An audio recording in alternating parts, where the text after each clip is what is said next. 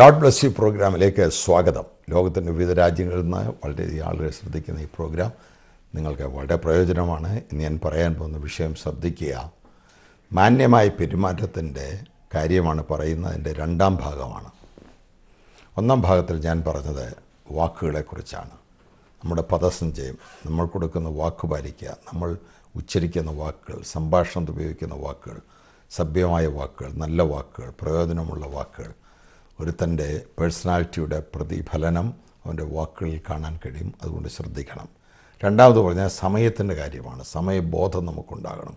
സമയം പാഴാക്കരുത്. സമയം പാഴാക്കാനുള്ളതല്ല. വാ സമയം പാലിക്കണം. ആർക്കെങ്കിലും ഒരു കാര്യം ഇന്ന ടൈമിൽ ചെയ്യുമെന്ന് പറഞ്ഞാൽ കറക്റ്റ് ആ സമയം പാലിക്കണം. ഒരു പ്രസംഗത്തിന് നാൽപ്പത് മിനിറ്റ് എന്ന് പറഞ്ഞാൽ നാൽപ്പത്തി ഒന്ന് മിനിറ്റ് പ്രസംഗിക്കരുത്. നാൽപ്പത് മിനിറ്റിൽ നിർത്തണം. അത് നമ്മുടെ തലച്ചോറിൽ ആ കറക്റ്റ് സമയത്തെക്കുറിച്ചുള്ള ബോധ്യത ഉണ്ടാകണം രാവിലെ ഉണരുന്നത് രാവിലെ ഇത്ര മണിക്ക് ഞാൻ ഉണരും എന്ന് തീരുമാനിച്ച് മനസ്സിൽ തീരുമാനിച്ച് കിടന്നിട്ട് കറക്റ്റ് ആ ടൈമിൽ ടൈം പീസോ അലാറമോ ഒന്നുമില്ലാതെ ഉണരാൻ കഴിയണം. തലച്ചോറിൽ നമ്മൾ സൂക്ഷിക്കുന്ന സമയബോധമാണ് ഇരുപത്തിനാല് മണിക്കൂറുള്ള സമയം നമ്മുടെ തലച്ചോറിന് സൂക്ഷിക്കാൻ കഴിയും. ഒരു രാജ്യത്ത് മറ്റൊരു രാജ്യത്തേക്ക് പോകുമ്പോൾ ടൈം ചേഞ്ച് ഉണ്ട്.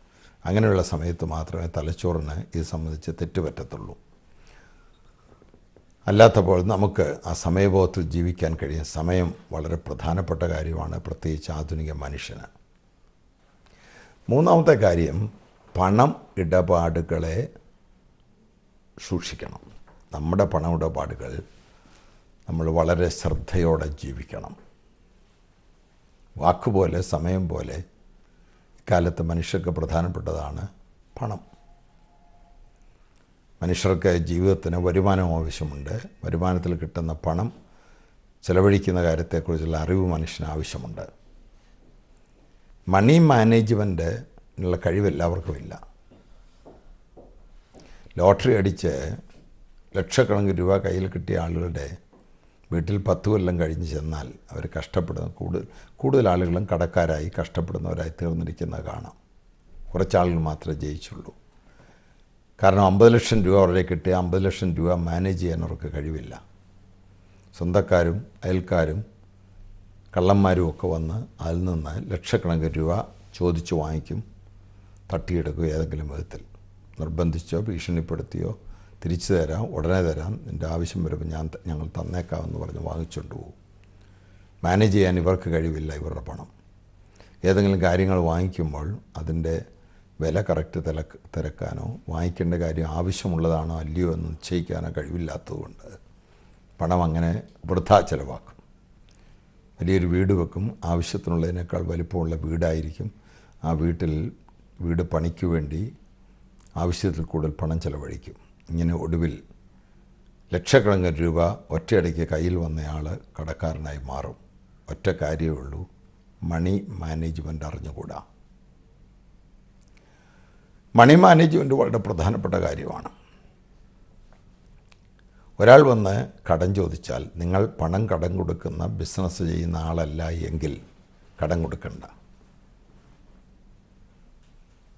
നിങ്ങൾക്ക് പറയാം ഞാൻ കടം തരികയില്ല. കാരണം ഈ പണം കടന്നു തന്നു കഴിഞ്ഞാൽ പിന്നെ നിങ്ങളോട് തിരിച്ചു വന്ന് ചോദിക്കാനോ വാങ്ങിക്കാനോ ഒക്കെ എനിക്ക് ബുദ്ധിമുട്ടാണ്. നിങ്ങൾ കൊണ്ട് തരുമായിരിക്കും തരുന്ന ആളാണ്.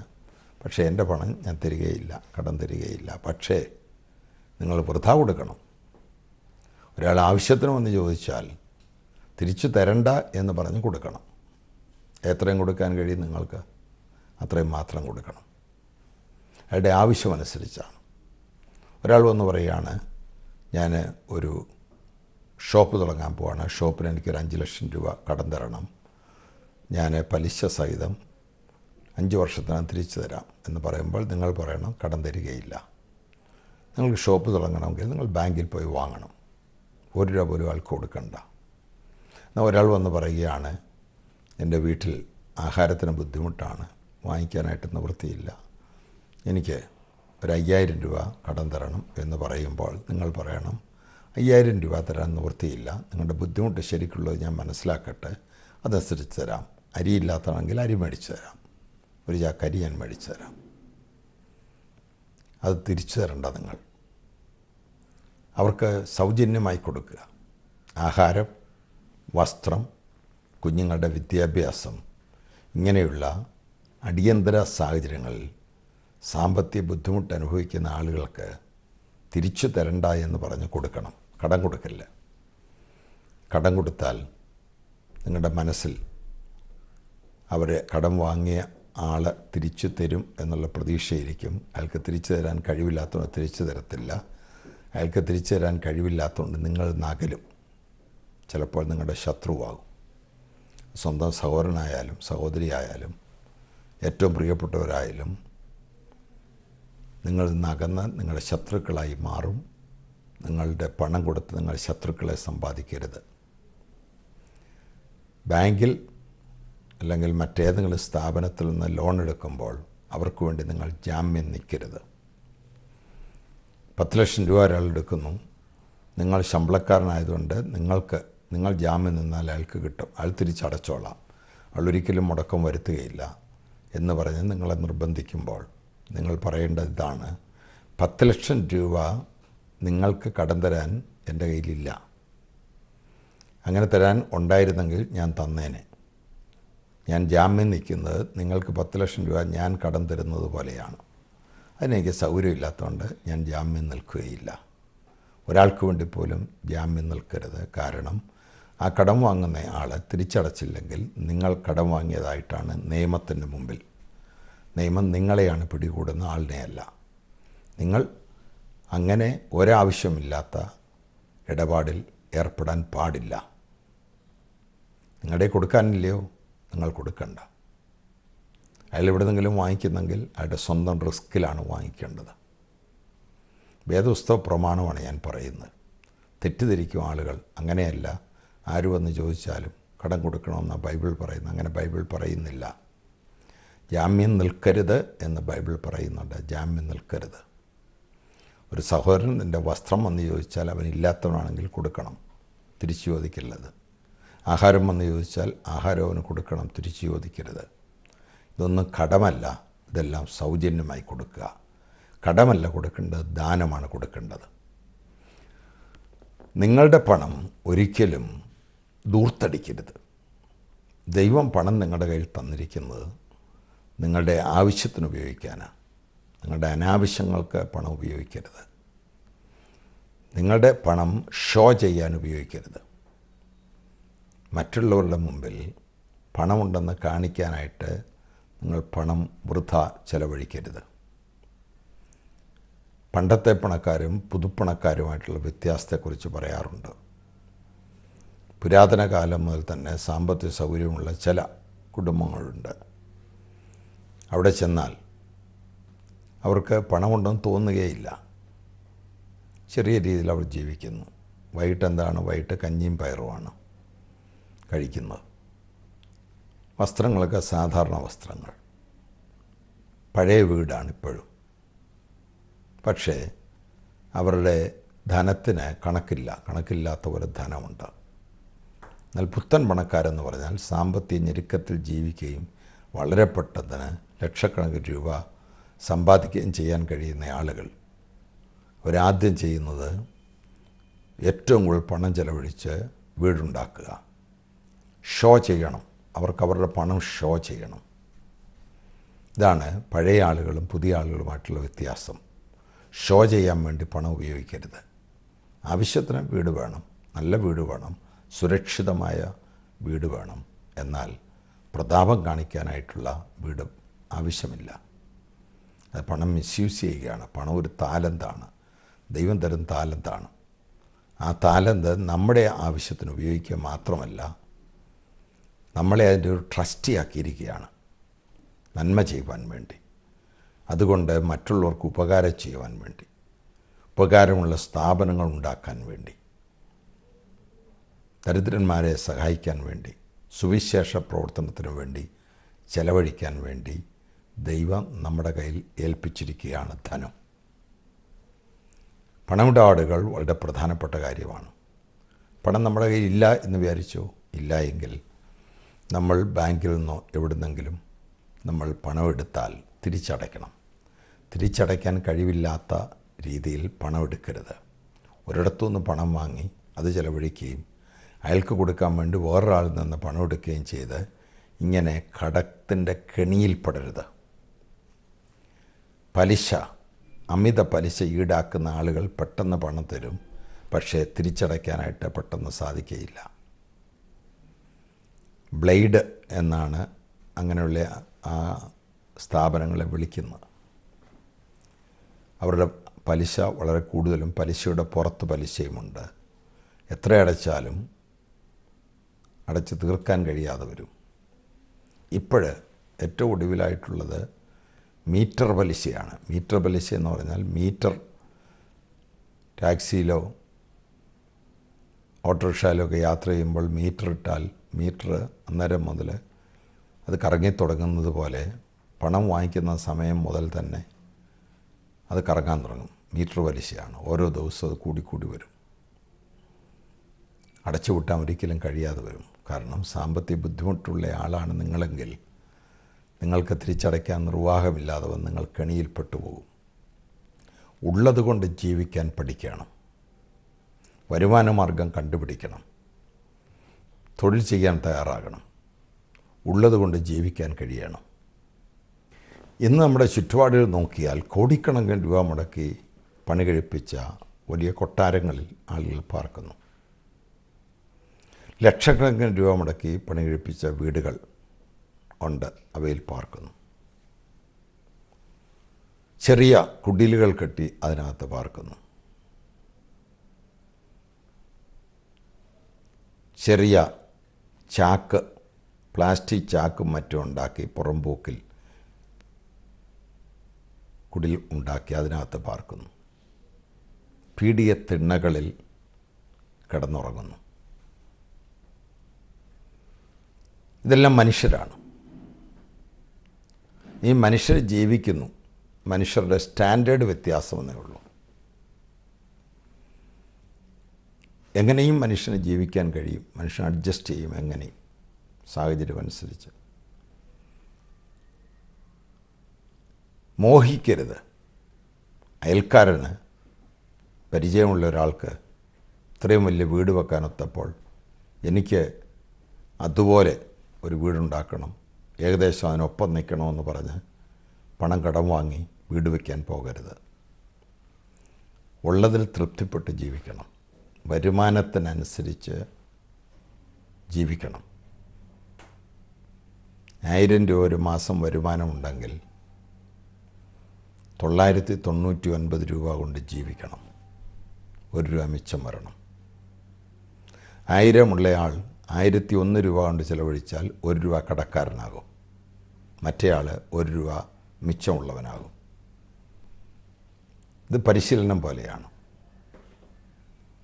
കടയിൽ പോയി സാധനങ്ങൾ കാണുമ്പോൾ വാങ്ങിക്കാനുള്ള ടെൻഡൻസി ഉണ്ടാകും സാധനങ്ങൾ കാണുമ്പോഴുള്ള ആകർഷണം കൊണ്ടൊരു സാധനവും വാങ്ങിക്കരുത്. വാങ്ങിക്കാൻ വേണ്ടിയ കാര്യം എഴുതി കയ്യിൽ പിടിച്ചു കൊണ്ടുപോയി ആ എഴുതിക്കൊണ്ടുപോയ കാര്യങ്ങൾ മാത്രം വാങ്ങിക്കുക. വാങ്ങിക്കാൻ വരുന്ന ആളുകളെ ആകർഷിക്കാനുള്ള പല രീതികൾ കച്ചവടക്കാർ ക്രമീകരിക്കും. അത് അടുക്കി വയ്ക്കുന്ന രീതി പോലും അങ്ങനെയാണ്. ആ കെണികളിൽ വീഴരുത്. നിങ്ങൾക്ക് എന്റെ ആവശ്യമില്ല നിങ്ങൾക്ക് അതിന് പണമില്ല. പണമുള്ളവർ പോയി അതെല്ലാം എടുക്കട്ടെ. അവർക്ക് വേണ്ടിയല്ലേ അത് വെച്ചിരിക്കുക നിങ്ങൾക്ക് വേണ്ടിയല്ല. ചിലവ് ചുരുക്കി ജീവിക്കാൻ പഠിക്കുക. അങ്ങനെ ഒരു ജീവിത ശൈലി നിങ്ങൾക്കുണ്ടായാൽ ക്രമേണ നിങ്ങളുടെ ബുദ്ധിമുട്ട് മാറും. കാരണം മണി മാനേജ് ചെയ്യാൻ നിങ്ങൾ പഠിച്ചു. എവിടെയെങ്കിലും പണം കൊടുക്കാൻ നിങ്ങൾക്കുണ്ടെങ്കിൽ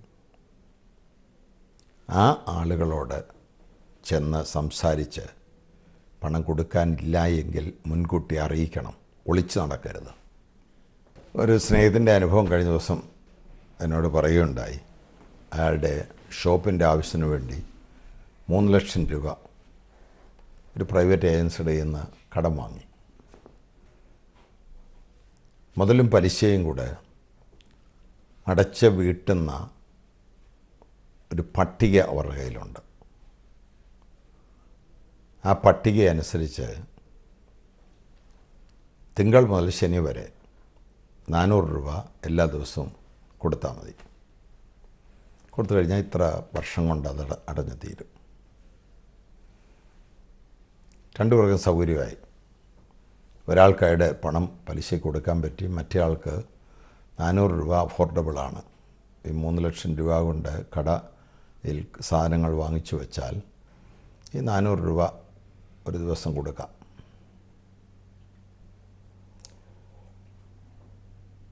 പണം കടം കൊടുത്ത ആൾ ഈ രീതിയിൽ അനേകം ആൾ കൊടുത്തിട്ടുള്ളത് കൊണ്ട് എല്ലാ ദിവസവും വൈകുന്നേരം കളക്ഷൻ ആൾ വരും. നാനൂറ് രൂപ വെച്ച് വാങ്ങിച്ചുകൊണ്ട് പോകും ചില ദിവസങ്ങൾ മുടങ്ങിപ്പോയി മുടങ്ങിപ്പോയാൽ അടുത്ത ദിവസം രണ്ട് ദിവസം ഒന്നിച്ച് കൊടുക്കണമെന്നുള്ളതേ ഉള്ളൂ. അതിന് പഴപ്പലിശയൊന്നുമില്ല. ഇങ്ങനെ പല നാളുകൾ കൊടുത്ത് കൊടുത്ത് കൊടുത്ത് കൊടുത്ത് കൊടുത്ത് ഏതോ ഒരവസരത്തിൽ അവസാനം ആയപ്പോൾ ഞങ്ങളോട് തീരുന്നില്ല. തീരുമെന്ന് പ്രതീക്ഷിച്ച ദിവസമായിട്ടും തീരുന്നില്ല. പിന്നെയും ഒരു മാസം കൊണ്ട് അടച്ചുകൊണ്ടിരിക്കണം അത് ഈ കടക്കാരന് ബുദ്ധിമുട്ടായി. കളക്ഷൻ വന്ന ആളിനോട് പറഞ്ഞു രണ്ട് ദിവസത്തേക്ക് ഇനിയും വരണ്ട. എന്റെ പൈസ ഇല്ല. അത് കഴിയും. വാ. ഉള്ള അനുസരിച്ച് തരാമെന്ന് പറഞ്ഞു.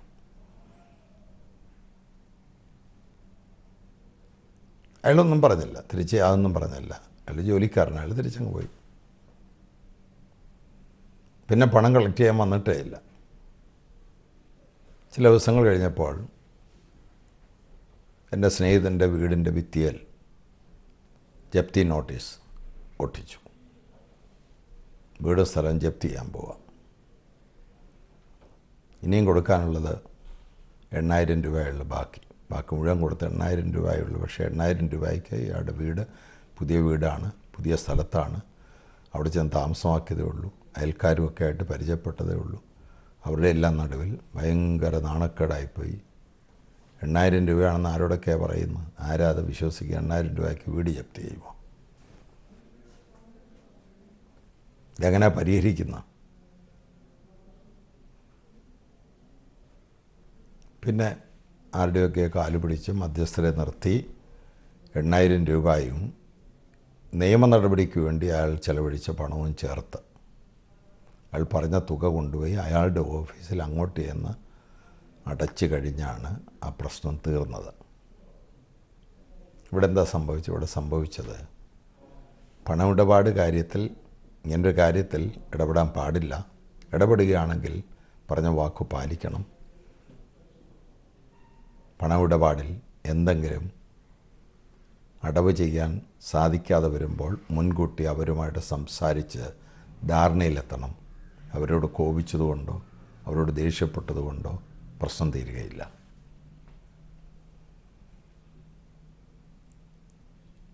പണം കൈകാര്യം ചെയ്യുക എളുപ്പമുള്ള കാര്യമല്ല. സൂക്ഷിച്ചു വെക്കുന്നത് പോലും ശ്രദ്ധയുള്ളവരായിരിക്കണം. ചില ആളുകൾ പണം സൂക്ഷിച്ച് വയ്ക്കാൻ അറിയാത്തവരാണ് സ്വന്തം വീട്ടിൽ പോലും സൂക്ഷ്മതയില്ലാതെ പണം വയ്ക്കുന്നു. അവർക്ക് നഷ്ടപ്പെട്ടു പോകും. വീടുകളിൽ കൂടുതൽ പണം കൊണ്ടുവന്ന് ശേഖരിച്ച് വെക്കാൻ പാടില്ല. അതിനാണ് ബാങ്കുള്ളത്. പണമിടപാടുകളെല്ലാം കഴിവതും ബാങ്ക് വഴിയായിരിക്കണം. ചെക്ക് മുഖാന്തരമായിരിക്കണം. അതൊരു രേഖയാണ് നമുക്ക്. നികുതി അടയ്ക്കേണ്ട പണത്തിന് നികുതി അടയ്ക്കണം. വരുമാന നികുതി. പല ആളുകളും ഇൻകം ടാക്സുകാർക്ക് കണ്ടുപിടിക്കാനൊക്കാത്ത വിധത്തിലുള്ള വരുമാനമുള്ളവരാണ്. അതുകൊണ്ട് അവർ വിചാരിക്കും അടയ്ക്കണ്ട എന്ന്. ഫ്രീലാൻസായിട്ട് ഓരോ കാര്യങ്ങൾ ചെയ്യുന്നവരാണ്. അതിന്റെ കണക്കൊന്നും ആരും കണ്ടുപിടിക്കുകയില്ല. പക്ഷേ അതിന്റെ നികുതി അടയ്ക്കുന്നതാണ് പണമിടപാടിലെ മര്യാദ. സജ്ജന മാതൃക. എത്ര രൂപ നികുതി വരും?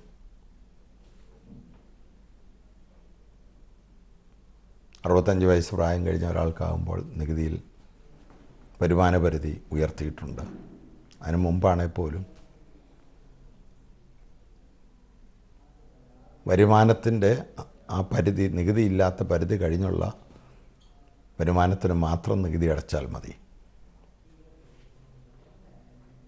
അതിൽ വൈമുഖ്യം കാണിക്കരുത്. നികുതി അടയ്ക്കാത്ത ഒരു വരുമാനം നികുതി അടയ്ക്കാതെ കൂട്ടിവെക്കുന്ന പണത്തിന് പറയുന്ന പേര് കള്ളപ്പണമെന്ന കള്ളപ്പണം വേറെ കള്ളനോട്ട് വേറെ. കള്ളനോട്ടെന്ന് പറഞ്ഞാൽ വ്യാജമായിട്ട് പ്രിന്റ് ചെയ്തുണ്ടാക്കുന്ന കറൻസികളാണ്. കള്ളപ്പണം എന്ന് പറയുന്നത് നല്ല കറൻസികൾ തന്നെയാണ് പക്ഷേ കണക്കിൽപ്പെടുത്തിയിട്ടില്ല. കണക്കിൽപ്പെടുത്തിയാൽ അത് നികുതിക്ക് വിധേയമാകും. നികുതി വെട്ടിപ്പ് നടത്തി കൂട്ടിവെച്ചിരിക്കുന്ന പണമാണ് കള്ളപ്പണം. അത് ഈ രാജ്യത്തിന് ദ്രോഹകരമായ കാര്യമാണ്. ഇന്ത്യയിലെ ഏറ്റവും വലിയ സാമ്പത്തിക ബുദ്ധിമുട്ടെന്ന് പറയുന്ന കള്ളപ്പണത്തിന്റെ ആധിക്യമാണ് അൺ അൺഅക്കൗണ്ടബിൾ അൺ അക്കൗണ്ടബിൾ മണിയാണ്.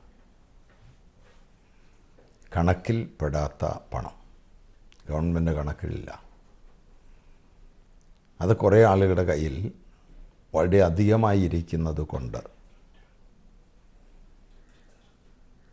അവർക്ക് പല കാര്യങ്ങൾ ചെയ്യാൻ കഴിയും വില കൂടുതലുണ്ടാക്കാൻ കഴിയും സാധനങ്ങൾ വാങ്ങിച്ച് പൂഴ്ത്തി വെക്കാൻ കഴിയും.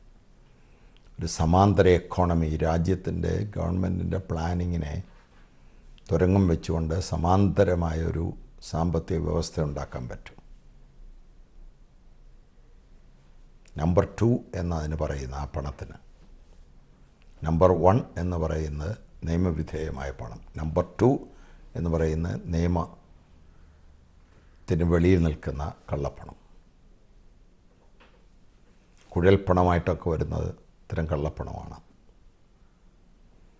നമ്പർ ടു ആണ് ഇന്ത്യയിൽ നമ്പർ വണ്ണിനേക്കാൾ കൂടുതൽ. സ്വിസ് ബാങ്കിൽ സ്വിറ്റ്സർലൻഡിന്റെ ബാങ്കിൽ പണ്ട് ആളുകൾ പണം സൂക്ഷിക്കും. ആ ബാങ്കിന് അത് വെളിപ്പെടുത്തേണ്ട കാര്യമില്ലായിരുന്നു. ആര് പണം ഇട്ടു ഏത് അക്കൗണ്ടിൽ എത്ര പണം ഉണ്ടെന്ന് ഇപ്പോഴാ നിയമം മാറിയിട്ടുണ്ട്. സെസ് ബാങ്ക് ഒരു ഗവൺമെന്റ് ആവശ്യപ്പെട്ടാൽ ആരുടെ പണമാണെന്ന് അറിയിക്കും.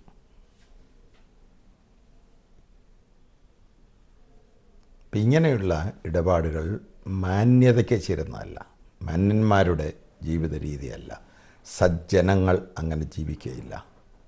തിന്മയുടെ ഭാഗമാണത്. മാന്യതയുടെ മുഖം മൂടിയുണ്ട്. മാന്യതയുടെ വേഷമുണ്ട് എങ്കിലും പണം ഇടപാടിലുള്ള ഇത്തരം കാര്യങ്ങൾ അമാന്യമാണ്. നാലാമത്തെ കാര്യം നമ്മൾ നമ്മളെ തന്നെ ശ്രദ്ധിക്കണം. മാന്യമായ പെരുമാറ്റത്തിന്റെ നാലാമത്തെ കാര്യം ഒരുത്തൻ തന്റെ കാര്യം നോക്കിയേ ഒക്കുകയുള്ളൂ. അവന്റെ ശരീരം ആരോഗ്യത്തോടെ സൂക്ഷിക്കേണ്ടത് അവന്റെ ചുമതലയാണ്. അവനെ തന്നെ ഉഴപ്പുന്ന ഒരാൾ മാന്യനല്ല അവനെ തന്നെ ശ്രദ്ധിക്കാതെ ഒരു ശരീരം വൃത്തിയായി സൂക്ഷിക്കാതെ കുളിക്കാതെ വസ്ത്രങ്ങൾ വൃത്തിയുള്ളത് ധരിക്കാതെ തലമുടി മുഖം ഇങ്ങനെയുള്ള കാര്യങ്ങൾ ശ്രദ്ധിക്കാതെ ജീവിക്കുന്നത് മാന്യതയല്ല. ഒരുത്തൻ അവനെക്കുറിച്ച് തന്നെ മാന്യതാ ബോധമുണ്ടെങ്കിൽ അവൻ അവനോടും മാന്യത കാണിക്കണം. അവന്റെ സെൽഫ് എസ്റ്റീമിന്റെ ഭാഗമാണത്. ഞാൻ എന്നെ എങ്ങനെ വിലമതിക്കുന്നു എന്ന് എന്നെ എങ്ങനെ ഞാൻ ടേക്ക് കെയർ ചെയ്യുന്നു എന്നതിന്റെ അടിസ്ഥാനത്തിൽ മനസ്സിലാക്കാൻ സാധിക്കും. എനിക്ക് എന്നെക്കുറിച്ചുള്ള മതിപ്പ് എന്താണ് വൃത്തികെട്ടവൻ. എന്ന മതിപ്പെങ്കിൽ വൃത്തികെട്ടവനായിട്ട് നടക്കും. എനിക്ക് എന്നെക്കുറിച്ച് അപകർഷതാബോധമുണ്ടെങ്കിൽ അപകർഷതാബോധം എന്റെ എല്ലാ വേഷവിധാനങ്ങളിലും സംഭാഷണം ചെയ്തിലും എല്ലാം വെളിപ്പെടും. എന്റെ ആവശ്യമില്ല. സെൽഫ് റെസ്പെക്റ്റ് വേണം. സെൽഫ് റെസ്പെക്റ്റിന് പറയുന്നത് ഹോണർ എന്നാണ്. ഒരാൾക്ക് അയാളെക്കുറിച്ച് തന്നെയുള്ള ഞാൻ ഓണറബിളാണ് എന്നുള്ള ഫീലിംഗ് ഉണ്ടാകണം. ആ ഫീലിംഗ് ഉണ്ടായാൽ നമ്മുടെ ചെയ്തികളിലെല്ലാം അത് വെളിപ്പെടും. അതനുസരിച്ച് നമ്മുടെ ജീവിതം നമ്മൾ ക്രമീകരിക്കും. നമ്മുടെ ശരീരത്തെ വൃത്തിയായി സൂക്ഷിക്കും കുളിക്കുക. പലരും കുളിക്കുക എന്നത് വെറുതെ ഒരു ചടങ്ങായിട്ട് നടത്തുകയാണ്. വെള്ളമൊഴിക്കും ദേഹത്ത് കുറേ സോപ്പ് വെക്കുന്നു. തോർത്തിപ്പോ കഴുകിയിട്ട് തോർത്തുന്നു. ഇത്രയേ ഉള്ളൂ. എവിടമെല്ലാം വൃത്തിയാകുന്നു വൃത്തിയാക്കേണ്ടതുണ്ട്? വിയർപ്പ്. എവിടെയെല്ലാം ഉണ്ടോ അവിടെയാണ് ഏറ്റവും കൂടുതൽ ശുദ്ധിയാക്കേണ്ടത്. കാൽ വിരലുകൾക്കിടയിൽ അഴുക്ക് കയറിയിരിക്കും.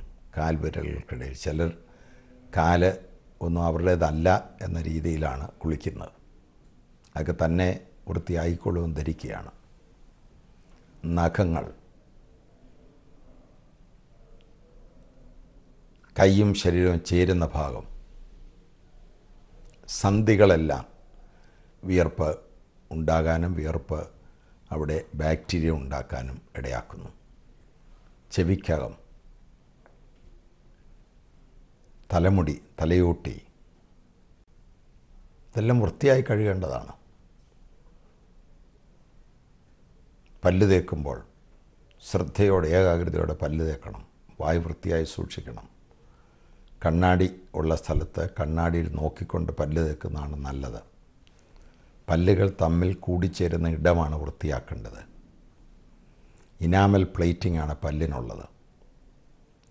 അവിടെ ഒരുപാട് നേരം ബ്രഷിട്ട് ഉരച്ച് ഇനാമൽ കളയരുത്. പല്ലുകൾ കൂടിച്ചേരുന്ന ഇടത്താണ് ഭക്ഷണത്തിന്റെ അവശിഷ്ടമിരിക്കുകയും ബാക്ടീരിയ വളരുകയും ചെയ്യുന്നത് ബാക്ടീരിയയാണ് വായുനാറ്റം ഉണ്ടാക്കുന്നത് വൃത്തിയുള്ള വസ്ത്രം ധരിക്കണം. ഷർട്ടിന്റെ ബട്ടൺസ് പോലും തെറ്റിയിടാറുണ്ട്. മാന്യന്മാരെന്ന് കരുതുന്ന ആളുകൾ. ഷൂസിന്റെ സോക്സ് തെറ്റിച്ച് ഒരു കാലിൽ ഒരു സോക്സും മറ്റൊരു കാലിൽ വേറെ ഒരു ജോഡി സോക്സിന്റെ ഇത് വിട്ടുകൊണ്ട് വന്നിരിക്കുന്ന ആളുകളെ ഞാൻ കണ്ടിട്ടുണ്ട്. തെറ്റിപ്പോകുന്ന തിരക്ക് കൂടുതൽ. അവർ അവരെക്കുറിച്ച് ശ്രദ്ധയില്ല. നമ്മൾ നമ്മളെ തന്നെ ശ്രദ്ധിക്കണം. നമ്മൾ മാന്യത മാന്യരാണ് എങ്കിൽ മാന്യത നമ്മളിൽ നിന്ന് ആരംഭിക്കണം. മാന്യമായ പെരുമാറ്റത്തിന്റെ ചില സൂചനകൾ മാത്രം ഈ എപ്പിസോഡിൽ നൽകിയിരിക്കുകയാണ്. ഒന്നാമത് വാക്ക് സൂക്ഷിക്കുക. രണ്ടാമത് സമയം പാലിക്കുക. മൂന്നാമത് പണമിടപാടുകൾ സൂക്ഷിക്കുക. നാലാമത് നമ്മുടെ സ്വന്തം കാര്യത്തിൽ കൂടുതൽ ശ്രദ്ധ ചെലുത്തുക ഇനിയും നിരവധി കാര്യങ്ങൾ ഇതിനോട് ബന്ധപ്പെട്ട് പറയാനുണ്ട്. മറ്റൊരവസരത്തിൽ അത് പറയാം. വീണ്ടും അടുത്ത എപ്പിസോഡിൽ കണ്ടുമുട്ടുന്നവർ